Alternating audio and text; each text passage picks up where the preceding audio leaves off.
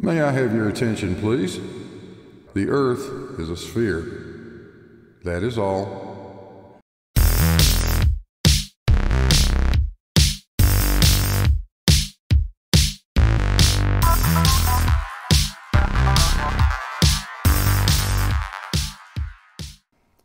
Hello, everybody. Welcome to Blue Marble Science.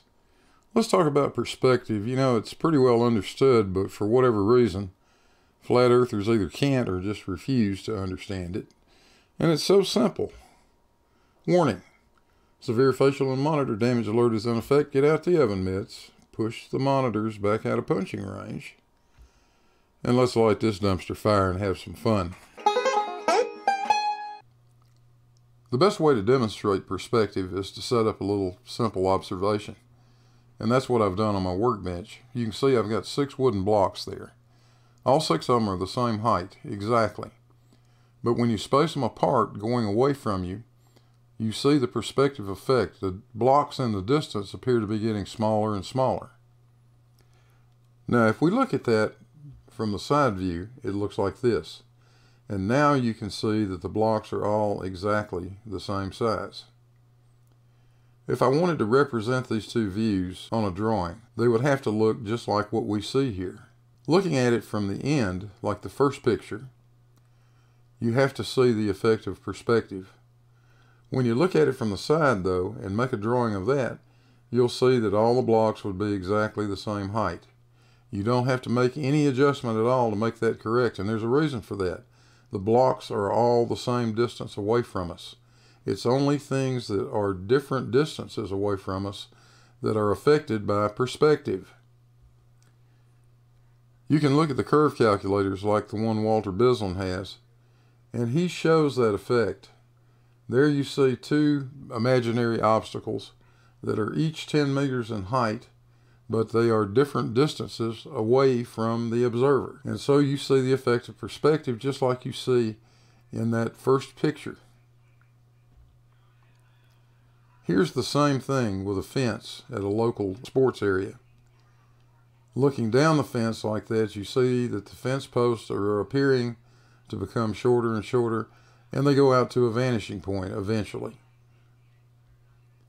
But when we look at it from the side, we see that the fence posts are, as we know, all the same height. There's a couple of red lines that help you find the top and the bottom of that fence. But the same thing happens in the curve calculator. You see that view, that drawing, which is representative of the side elevation. And in that drawing, the heights have to be represented at their true height. There's no perspective to be taken into account because all of that is an equal distance away from the observer. There's no effect of perspective whatsoever. So let's see how flat earthers try to muddle up this very, very simple concept.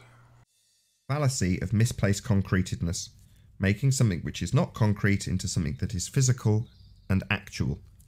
Turning a model of a sphere, taking the idea that things in the distance don't change in their value being called height.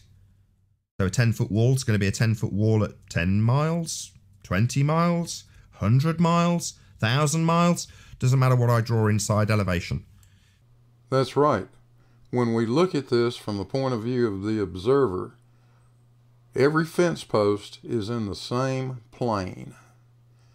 And as the fence posts move further away, they become smaller in size due to perspective. But when we look at the orthographic side projection, every fence post is the same distance away in this view. You won't see any change in the size of the object. I've got a side profile of something. Let's just put this picture back on screen. You've got your head side of it on the left-hand side of the observation and your target on the right-hand side of the observation. So in this particular depiction, the mathematics of geometry that make up your sphere religion, you are seeing the side of your own head. So that's the first problem. I know you like to call this Muppet vision and make that statement that I'm sure you think is cute about how you see the side of your own head. That's nonsense, Nathan, and you know it. This is simply an orthographic side projection. You're seeing the point of observation and the object being observed, which are all in the same plane. That's all you're looking at. Second problem is this line, donkey dick tangent line that you now have, you can write whatever value you like on that line. It is an arbitrary. It depends on the amount of refraction that's taking place at the time of the observation. These two pictures are of the same two oil platforms. You've seen these before. The one on the top, the one you guys call the Black Swan, is taken on a day when refraction is tremendous. The one on the bottom is what's taken on a normal day. This is what you normally see. There is a tremendous difference in the horizon, the point that we see as the horizon in these two photographs. And that is strictly a function of the amount of refraction that's going on. Why do you guys have such a hard time understanding that? So I can say H is a 10 foot wall and O is me. And I can say that this line represents a distance of 10 meters between me and it. Or I can say this line represents a thousand meters or a million kilometers. And this value at H for the 10 foot wall is still going to be 10 foot.